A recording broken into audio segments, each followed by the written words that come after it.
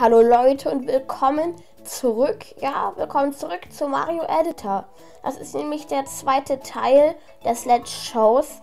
Denn diesmal spiele ich Level von anderen, nämlich dieses hier, Carry Same Grasslands und Invisible Bridges. Ja, das sind die zwei Level, die ich heruntergeladen habe. Ich kann euch ja mal die Website auch verlinken. Ich würde sagen, wir beginnen jetzt mit einem von beiden Level. Dann nehme ich mal das hier. So, Mario Start. Oh, das sieht schon mal sehr vielversprechend aus. Dann gehe ich hier hoch. Wow, direkt eine Bumerangblume und direkt getroffen. Ah, jetzt muss ich hoch. So. Der Start war jetzt nicht der allerbeste, aber ich habe die Bumerangblume und es macht einfach so einen Spaß, Leute. Da, getroffen. Okay, der Start war vielleicht doch nicht so gut jetzt. Ja, ich bin diesmal richtig motiviert hier in Mario Maker. Ich meine natürlich Mario Editor. Ja, ich wollte halt jetzt sofort zu der Bumerangblume. Hab's aber doch nicht so schnell geschafft. Na, bitte. Na, blöder Kuba. So. Und wieder alle leben der perfekte Zustand. Das ist eigentlich das hier. Welcome to Christian Grasslands. Here hours is raining. Ja, das sieht man ja. Das braucht der Levelersteller einem ja nicht sagen. Ja, auf jeden Fall. Das ist so genial. Und ich finde es auch viel besser als, als Minecraft jetzt. Also, Minecraft allgemein finde ich zwar ein bisschen besser. Und auch die Ninjas, aber die sind ja rot. Gab es rote Ninjas? Anscheinend schon. Und ein grauer Sniffit. Ja, die gab es aber definitiv nicht. Kann ich die Kugeln jetzt eigentlich rammen? Oh. Fuck, kann ich nicht. Oh, die springen ja hoch. Darauf habe ich gar nicht geachtet. Nur noch ein Leben. Aber auch allgemein die Level, die hier in Mario Editor gebaut wurden, sollen ziemlich schwierig sein und ein Pilz. Aber auch die Musik ist so schön. Ich bin richtig motiviert jetzt hier. Nein! Was? Wenn man den Grund berührt, dann stirbt man direkt. Ja. Jetzt kann ich mich ruhig treffen lassen. Es wird ja eh wieder durch die... Das Leben wird ja eh wieder durch die Bumerang-Blume aufgefüllt. Please. Mario.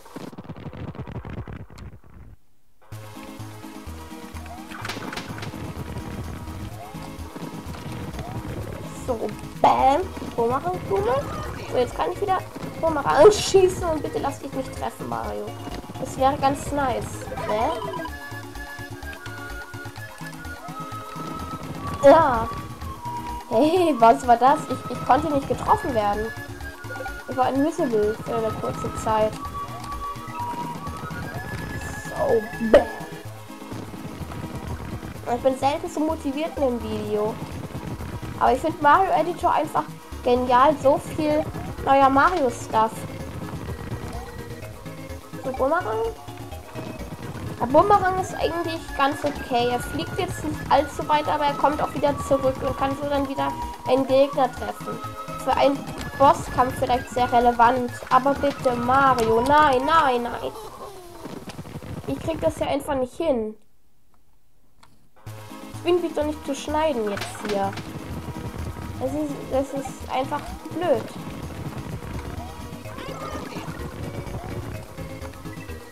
Ja, bitte. Okay, es scheint, als würde ich jetzt wirklich schneiden müssen. Bis dann, Leute. Okay, hier bin ich wieder, aber... Oh, ich habe es rüber geschafft. Endlich. Oh, jetzt kommen hier noch diese Monty-Maulwürfe. Oh, die hasse ich. Und das Spiel cheatet mal wieder. Naja. Da ich hier nicht weiterkomme, würde ich sagen, nächster Level, Play.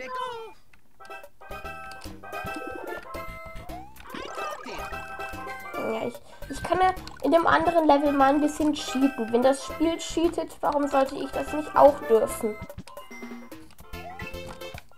Okay. Naja, das, das ist wie in dem ersten Mario Bros. 3, da gab es das doch auch mal, oder?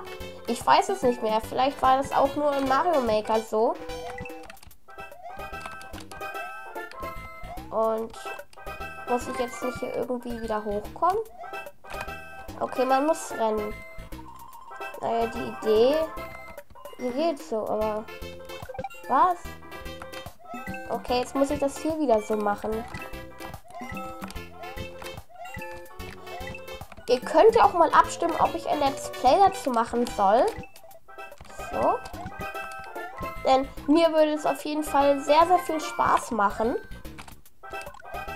Ja, es ist ein bisschen blöd, wenn man nur noch Minecraft macht. Irgendwann will man dann wieder ein bisschen Abwechslung. Und das ist einfach das beste Game für Abwechslung. Oder anders gesagt, der beste Editor für Abwechslung. Ah, ein Checkpoint. Das gibt es hier nämlich auch. Habe ich noch gar nicht erwähnt. Oh. Okay. Ist ja eigentlich alles gleich. Aber auch diese Teile, da kann man nicht mehr zurück. Das gibt es auch in Mario Maker, aber in einer anderen Form. Und das hier ist das Ninja-Outfit. Ja, da kann man solche Ninja-Stars, ich glaube, die heißen Shurikens, schießen. Das ist genial. Und was man noch kann, man kann so an Wänden dann springen und hochklettern. Oh, ist das genial. Ich, ich selber habe ich es noch nicht herausgefunden. Also bis jetzt, aber irgendwie komme ich hier wieder weg. Jetzt muss ich also wieder, ich muss wieder so lange hier klettern, bis ich den Boden berühre. Aber es, es sieht schon irgendwie cool aus, das Ninja-Outfit. Das muss man sagen. Ja, das. Die Shurikens fliegen dann auch immer ja in eine gerade Linie. Die Wetten hier sind wieder Blöcke. Ja. Wie sollte es anders sein? Wow, das sind aber ein bisschen viele Piranha-Pflanzen hier. Ja, sogar die Kugelwillis können in andere Richtungen fliegen. In Mario Maker gingen da ja nicht so viele Richtungen und ich bleibe trotzdem ein Ninja? Eigentlich, eigentlich müsste ich mich ja jetzt zurückverwandeln, wenn ich Schaden nehme, aber anscheinend bleibt dieses Outfit. Anscheinend kann man das irgendwie einstellen. Ist ja sehr, sehr vielfältig und das war ungünstig. Das wollte ich gar nicht. Und ja, fuck. Okay. Huch, das ist, das ist gar nicht so einfach. Vielleicht muss man sich da ja langsam vorarbeiten. Ich habe jetzt gerade darüber nachgedacht, ob ich cheaten soll, aber das wäre schon ein bisschen... Ja, es, es muss nicht sein. Das muss nicht sein. Wenn man einmal fällt, muss man nicht gleich cheaten. Dann versuche ich erstmal mich hier langsam vorzuarbeiten. Und dann dann im Notfall cheat ich vielleicht. Und ich habe schon eine Vermutung, was ich ja machen muss, nämlich als Ninja hier hochklettern.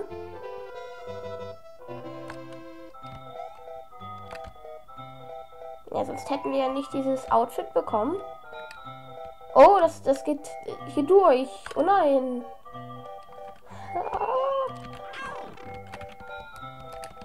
Nein, Mario. Das ist eben auch manchmal ein bisschen nervig hier.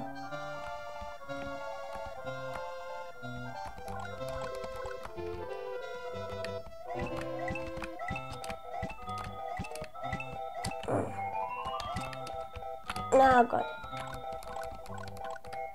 Oh nein, bitte nicht.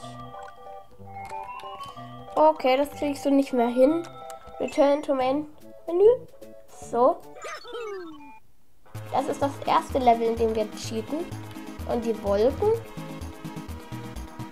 Okay, ist das jetzt Background oder? Okay, es gibt auch halbe Wolken.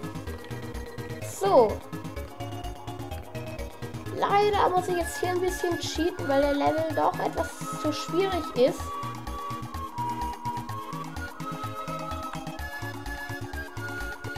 So, ich würde sagen, ein Block.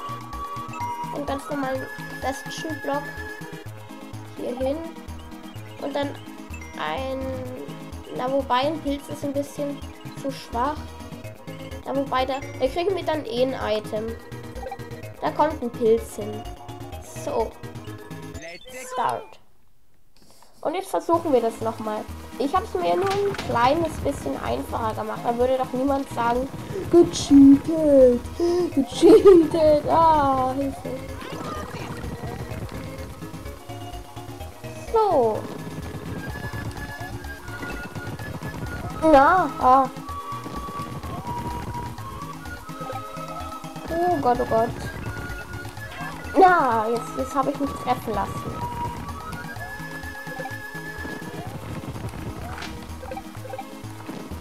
Ja, ich hasse einfach dieses Sniffet. Ich habe den Fisch gekillt. Nein, bitte nicht. Ich habe den Pilz versaut. Aber hier ist eh einer. Bitte nicht sterben, bitte nicht sterben. Als ob der hier hoch kann. Da hört man aber auch Luigi, wenn man den Pilz ansammelt. Oh, oh, yes! Da hört man Luigis Stimme mit. Bitte nicht sterben. Ein?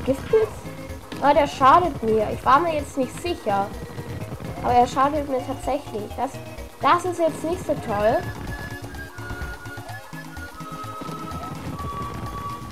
Oh nein.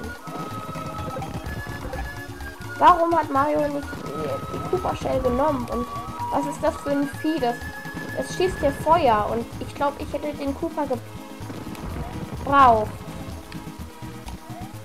Ich glaube, der Cooper muss respawnen. Aber solange die Shell nicht respawnt, kann der Cooper auch nicht respawnen. Oh Mann.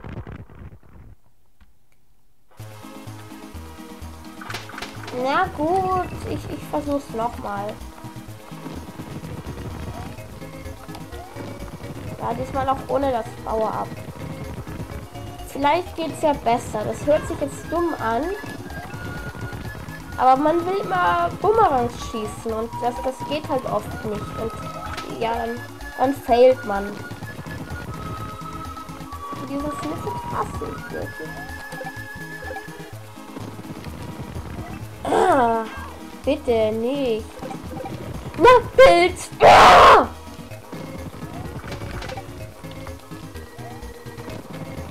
Und wahrscheinlich werde ich dann wieder tot gehatet, weil ich 20 Mal gefailt habe.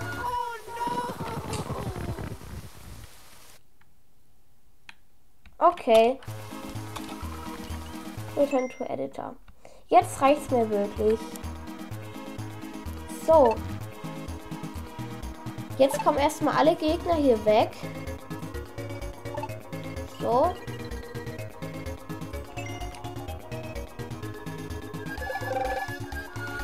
Alle Abgründe auch. So.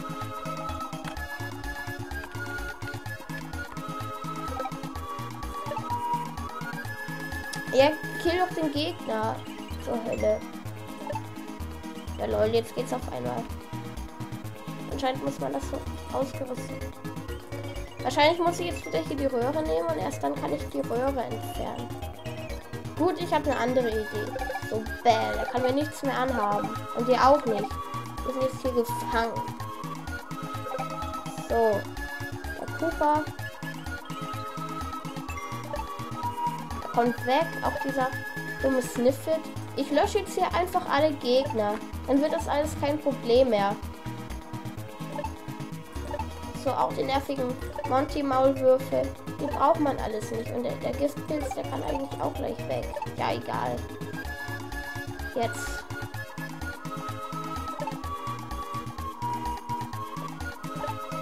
Ach, jetzt müssen wir das so schaffen. Genug gecheatet. So, nirgends Gegner. Das ist einfach genial. Und jetzt nehme ich das halt mal. Es sind eh keine Gegner da. Auch diese, diese halbe kaputte Wolke. Was? Hey, Betrug, ich habe da... Ich habe das da hingesetzt. Erklärung bitte? Einfach so Vollbaum oder was? Oder geht das nur bei dem Gras hier? Na egal, das stellt eh nicht das größte Problem dar. Oh Mann. Ja, das hat mir kaum was gebracht. Einfach durchrennen, einfach durchrennen, einfach durchrennen. Ich hasse dieses blöde Spiel hier. Okay. Genug gecheatet. Cheaten ist da jetzt auch nicht das Wahre. Ja, auf jeden Fall, wenn euch das Video gefallen hat, dann würde ich mich über ein Like oder ein Abo freuen. Am besten ihr teilt das Video noch. Das war's auf jeden Fall von mir. Bis dann und ciao, euer Jono.